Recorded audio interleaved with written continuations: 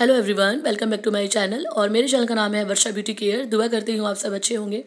दोस्तों, आज मैं आपसे शेयर करने जा रही हूँ आलिया भट्ट का ये इंस्पायर्ड मेकअप लुक आशा करती हूँ आपको पसंद आएगा और पसंद आए तो प्लीज़ गाइज़ मेरी इस वीडियो को लाइक शेयर कर दीजिएगा और कमेंट करके ज़रूर बताइएगा कि आपको मेरा ये मेकअप लुक कैसा लगा।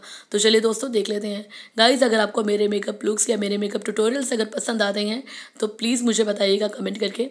और अगर आप कोई और रिक्वेस्टेड वीडियो देखना चाहते हैं तो वो भी ज़रूर बताइएगा। अगर आप चाहते हैं मैं किसी का लुक रिक्रिएट करूँ तो वो भी ज़रूर बताइएगा कमेंट करके।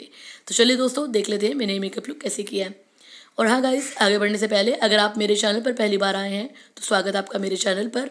और प्लीज़ गाइस मेरे चैनल को सब्सक्राइब कर लीजिए। साथ में जो बेल बटन है, इसे प्रेस कर दीजिएगा, ताकि आपसे मेरी कोई भी न्यू वीडियो मिस ना हो। तो चलिए दोस्तों, देख लेते हैं मैंने मेकअप लुक कैसे किया है। यहाँ पर मैं सबसे पहले लगा रही हूँ अपने फेस पर मॉइस्चराइज़र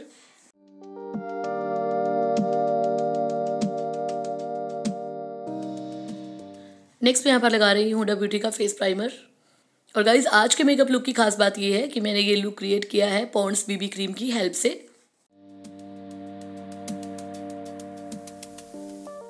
तो यहाँ पर मैं लगा रही हूँ पॉन्ड्स की बीबी क्रीम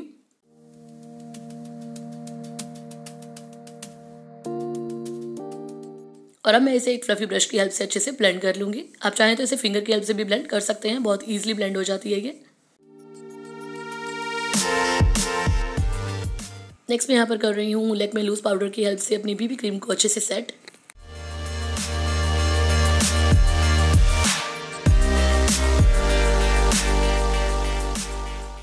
इसके बाद मैं यहाँ पर लगा रही हूँ अपने डार्क सर्कल्स को हाइड करने के लिए मैक का कंसीलर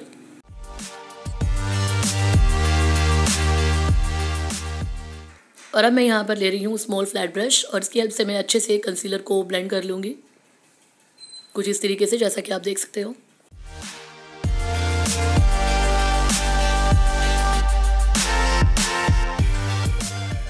नेक्स्ट मैं यहाँ पर लगा रही हूँ जैकलिन हिल पैलेट से डार्क ब्राउन कलर का शेड लूँगी और इसकी हेल्प से मैं अपने आईब्रोज़ को फिल कर रही हूँ।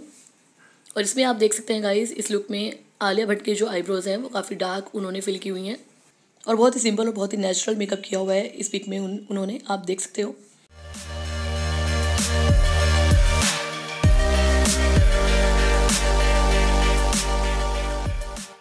सो गाइस पहले मैंने लिया था जैकलिन हिल पैलेट से डार्क ब्राउन कलर का शेड अपनी क्रीज लाइन पर प्लेस करते हुए इसे अच्छे से ब्लेंड किया था। उसके बाद मैं यहाँ पर ले रही हूँ ब्यूटी के पैलेट से ये डार्क बरगंडी कलर का शेड लूँगी और इसे पूरे आईलिड पर इस तरीके से लगा लूँगी। सो नेक्स्ट मैं यहाँ पर ले रही हूँ गाइज़ आप देख सकते हो ब्लू हेवन की काजल ली है मैंने यहाँ पर। और पहले मैं अंदर की तरफ़ इसे फिल करूँगी अपर लैश लाइन पर।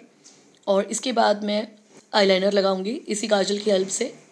और गाइस आप देख सकते हो, आलिया भट्ट ने बहुत ही पतला सा आईलाइनर ड्रॉ किया हुआ है। बिल्कुल पता भी नहीं चल रहा है, इस तरीके से उन्होंने अपर लैश लाइन के साथ उसे टच करते हुए इस तरीके से आईलाइनर को लगाया हुआ है। तो ये देखिए, मैं भी बिल्कुल पतला सा आईलाइनर यहाँ पर ड्रॉ कर रही हूँ। इसके बाद मैं यहाँ पर लगा रही हूँ मेबलिन का मस्कारा आप चाहें तो फॉल्सिस भी लगा सकते हैं बट आलिया भट्ट ने इसमें कोई भी फॉल्सिस नहीं लगाई हुई हैं। और उन्होंने इसमें काजल भी नहीं लगाया हुआ है, आप देख सकते हो।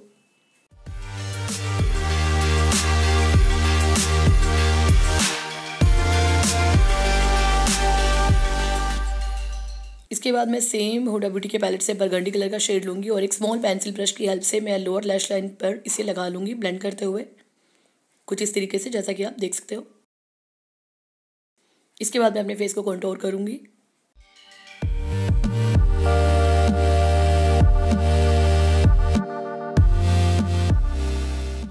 नेक्स्ट मैं यहाँ पर लगा रही हूँ स्विस ब्यूटी के ब्लश पैलेट से ऑरेंज कलर का ब्लश मैं यहाँ पर लगा रही हूँ। नेक्स्ट मैं यहाँ पर लगा रही हूँ हाइलाइटर